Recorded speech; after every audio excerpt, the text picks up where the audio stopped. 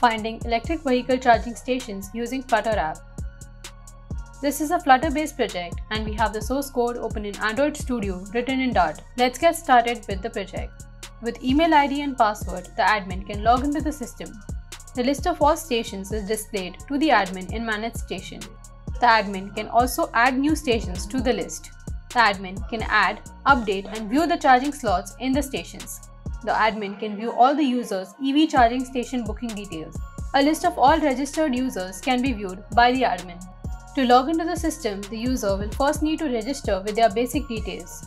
The user can add, update and delete vehicles. The user can search for stations based on their nearby location, city or distance in kilometer.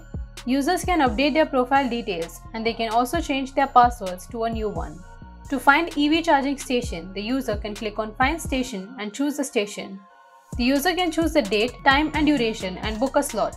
The user can view all the bookings for the vehicles. The user can choose the source and destination to find charging stations. All charging stations along the user's route will be displayed by the system. iOS apps function similarly to Android apps.